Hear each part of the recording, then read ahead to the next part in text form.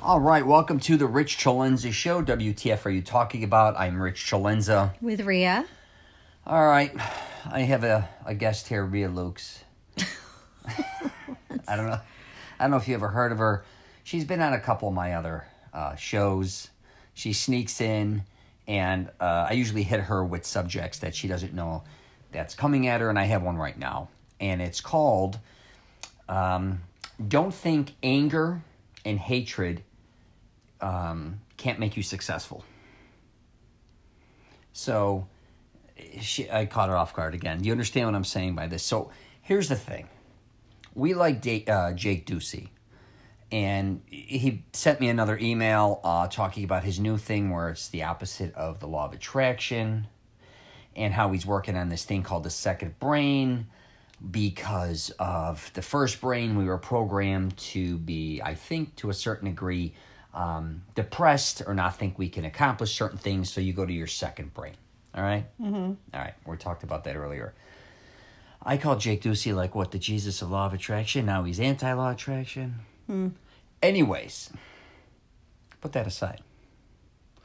What I want to talk to you about today, Ria, is I think a lot of people don't realize though. We're always talking about positivity, right? Mm-hmm. And uh, for instance, the law of attraction and all those type of things. But I'm going to tell you something.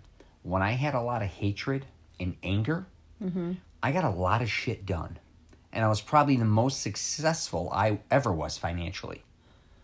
Mm-hmm. So, what do you think about that? Are you bringing this up because I've been cranky these last few days and angry and getting lots of stuff done? No, I never even thought about that, but thanks for bringing that up. So, yeah, I, it wasn't that at all. It was actually something I typed in a while ago Oh, okay. in my notes that I want to do discuss this with you. I realize too, for instance, you when you're angry or pissed, shit gets done.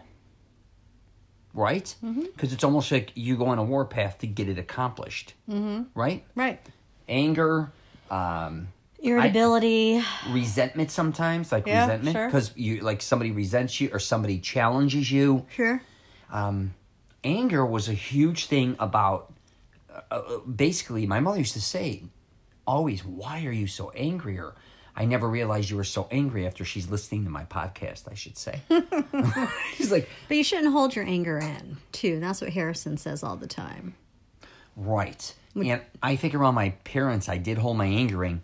in I'm sorry. Mm-hmm. But then publicly, I was a tyrant. Uh, maybe my father knew I was crazy. But what do you think as far as, you, you know, you're a successful businesswoman. How do you think a lot of how you became successful was because, for one, you feared your father, which I, I think you Mm-hmm. did, and then you also had a lot of anger or a lot of um, it's it, you know a lot of drive, but things pissed you off to get shit accomplished. Is what I'm saying. Do you think that's because I see your personality kind of being like that, even with work? You want to kick it in the ass. You make women cry, right? A lot of people fear when you come to see them. Are you doing that intentionally? No. Well, okay. No. I think it's how you carry yourself too. But I do think that um, when I get on these tangents, you know, even, yeah, like at home or at work, shit gets done. Because I think people take you seriously, especially someone like me that's small or petite in stature, you know. I think that, what did someone say once? It's like, even though you may be small, you are like you have a presence about Right. you. And I think that, you know, I don't think that there's different types of anger, you know, or uh, you know, that fire. I don't think I'm I don't think it has to be the the bad negativity where you're pull, putting people down. course not. Right? But I do think it's something where uh it motivates you because it, it does it lights a fire under you right so like for instance this evening i didn't have to do all the crap that i had to do tonight but i just you know wanted to just get it done so at the house but then even at work you know it's like when i am irritated with certain things or certain situations it seems to push me more and i think a lot of people are like that you know I do too. And instead of looking at it where it's a negative. No. I think a lot of people should actually look at that as a positive again. Yeah, I would. I would agree. I don't like I said. You know, that kind of drive, or you know, doesn't need to be uh, negative because the negativity actually brings you down. Where this kind of lights a fire. I think it's it's different. It is different. It's Yeah. um well, even if we're going to the gym, and I know sometimes you're not in the mood to go to the gym, Like today, I was not in the mood. right, and you're pissy, but you almost go on a warpath when you get there. You're like, you don't play the role. I was discussing this with you earlier. You don't. You never play the sympathy role. What was the other thing I was saying about you? The excuse. Oh, yeah, the Or the victim role. Yeah, yeah, yeah, Right. yeah, you won't yeah. be like, oh, I can't work out today because right, right. this happened at work, or because I don't feel like it, or now I got another headache, or because I ate pizza last night. Whatever the case may I be. I did have a headache today, and we went. Right. I think from the first time I met you, you kind of when I first met you, you addressed me almost like a man. The way you shook my hand. Remember, like when I, you, I see when you walk up to men, you you kind of shake their hand. You're staring at them down. You want to, you know what I mean. You want to show a form of power, Yeah. right? Isn't sure. that what you want to do? All right. I'm not saying you want to intimidate them, but No. you want to be somebody that is known for being not forceful, but somebody who's not to be reckoned with. Correct? Correct. You got that from where your father. Yeah, my dad. Well, my mom too. She's she's really the scarier one, if I want to say that. Your mom and dad are kind of like tyrants, where right? Yeah, they're like they're they are like In a typical. good way. Yeah, but they're typical. I would say they are um, stereotype Asian mom and dad. Right. Right. The biggest givers you've ever Oh met, yeah, absolutely. With the biggest expectors of certain things. Oh, yeah. Like expecting I'm, my feet are sweating just thinking about it right now. Well, her father's a ex-military. Or, Yeah, uh, mili- officer. how yeah, career years? military. Thirty And your mother was uh, in the medical field. Worked the- graveyard shift. I mean, yeah, from the Philippines, as you Yep. know, came here, and it was hard on a lot of Yeah, Asians or- immigrants, right, yeah, sure. immigrants slash Asians. yeah. Um, so they don't have any sympathy for us, which I like. But even if I notice with your dad or with my, you know, my, my father, he constantly talks about himself offending people. It's almost like his identity to a certain degree.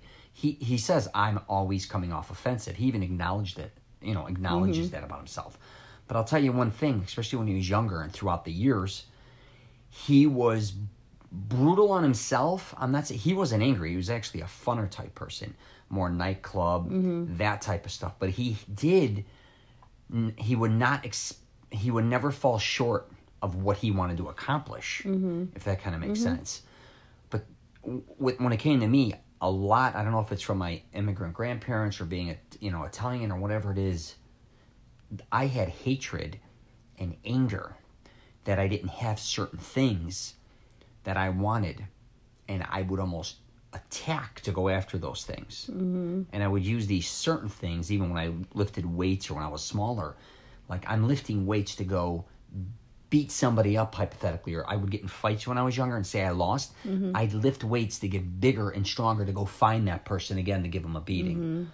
Or same with sports, or even in wrestling. Mm-hmm. I wrestled for many years, or anything in sports. If if someone ever beat me in anything, I it would charge me.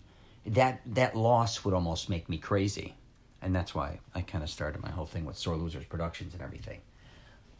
But anyways, that's what I wanted to talk about on this. Is I think a lot of people when they get caught up in certain things, they're just saying, "Hey, you're being negative," or "Hey, you're, you know, you always come across this way." But I think a lot of that is good.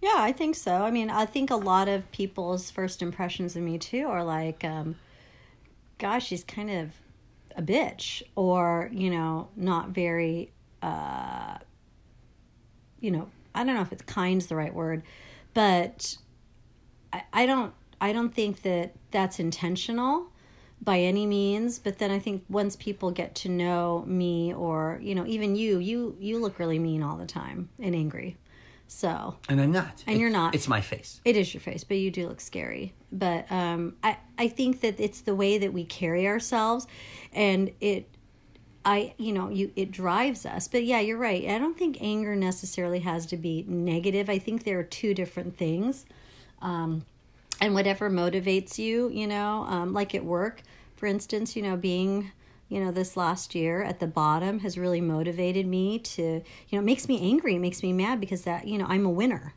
And, you know, winners are, you know, don't are not at the bottom, but then I I don't see myself as a loser, right?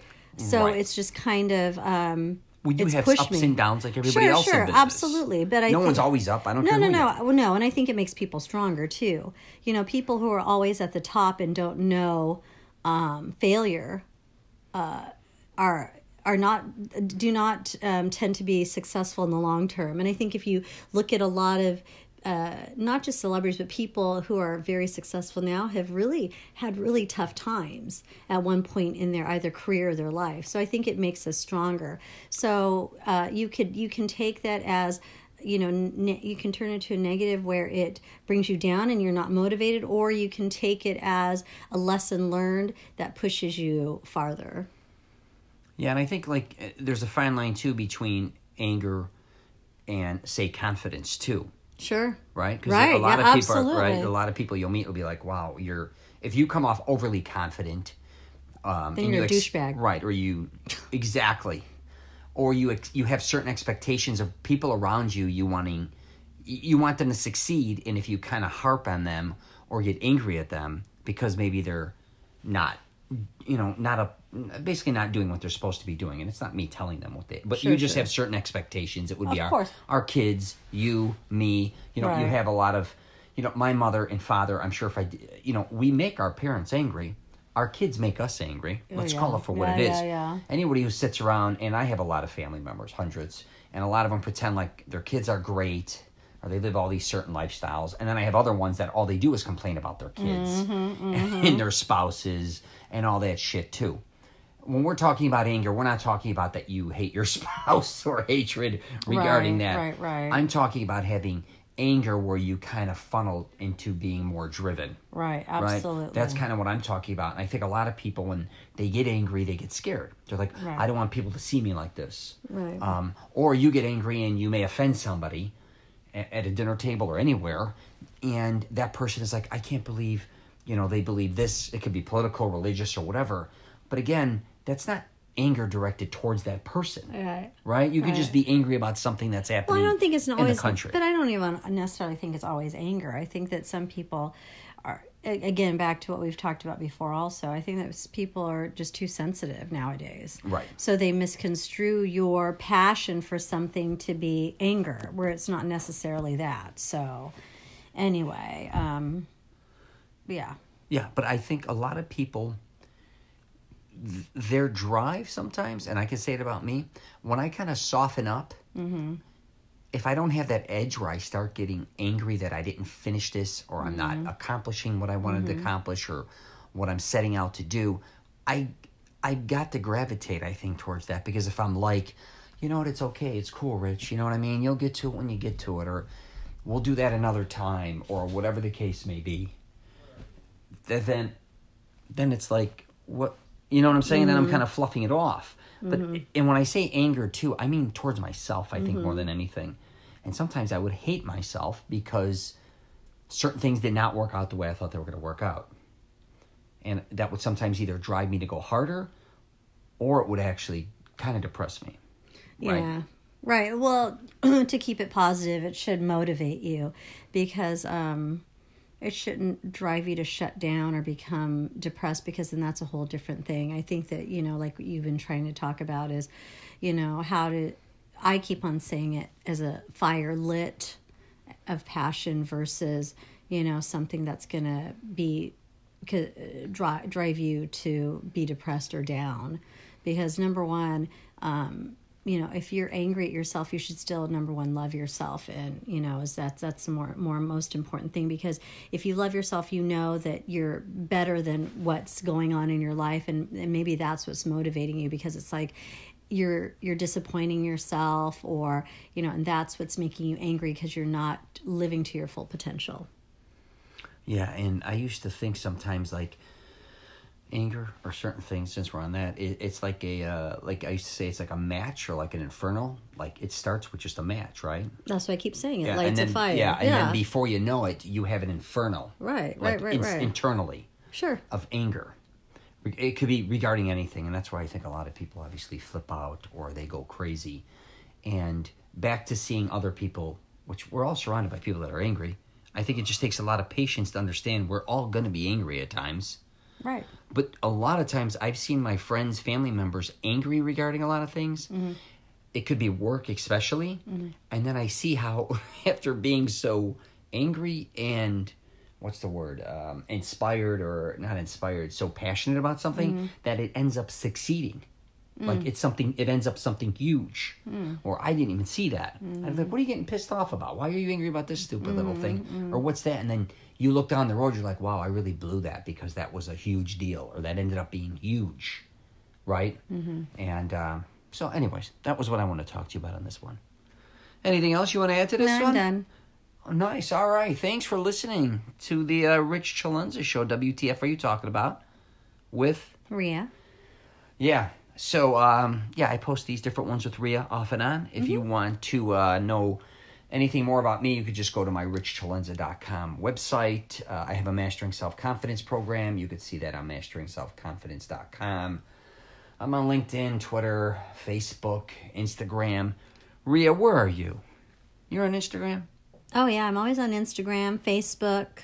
Um, I am on LinkedIn. Uh, I don't. I I'm, I have a Twitter. I don't understand Twitter, so I don't tweet. It's just. I mean, it confuses me. So um, Ria's in a lot of my posts um, as far as me visiting gyms all over North America. She goes to all the all to the uh, a bunch of LA fitnesses. So if you go to my YouTube channel, you'll see her there. And I've been harping on her forever because she should get a I should get angry at her right now and kick her in the ass. She went to school for journalism right. and she was the one who was supposed to do her own YouTube channel, her own podcast, right? Right. Are Remember you trying this? to make me angry? Th- that's what I'm saying. This is a good, perfect example. I'm gonna get angry a little bit, and then I'm gonna get her pissed off. Mm-hmm. What's funny is she's still not gonna do anything about it. She's just gonna. Who knows? You're gonna ride my skirt tails. Charade. You're riding it right now with this podcast, right? Yeah. Okay. Yeah. Where's your podcast?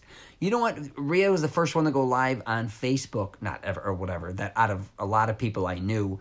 We had hurricanes in Florida, and she was going out into the fields with the hurricanes. Oh, remember? Oh yeah, yeah, yeah, yeah. That's good. She was in the middle of the storms. How many? What are you were gonna? Thousands of people. What is it? it was I like can't remember. Well, that she was, was- fun. she was doing her own videos, Facebook Live, and she was in the middle of the hurricane, running outside of our place in the storms. People from Canada, all over the country, were like sharing it, and they were like, "Ria, you should do this." I H- How many years did you take journalism? Oh, I went to U of O and took journalism. I went to the J school for You- a little bit. Yeah. You wanted to be uh, what's her name? Connie Chung. oh my! You missed your calling. Ria loves talking. She'd be great at videos. She would, and her new thing was her and her three girlfriends were going to do a podcast. This Two of us, the three of us. Two of us. I said, okay, that'll happen in the next decade. I know. I gotta call them. Maybe I'll make them angry. So anyway, yeah, make everybody angry. Anyway, start your own podcast. funny. All right. All right, that's it. We're going to wrap it up there. Take care, and uh, if you're traveling, safe travels. Bye.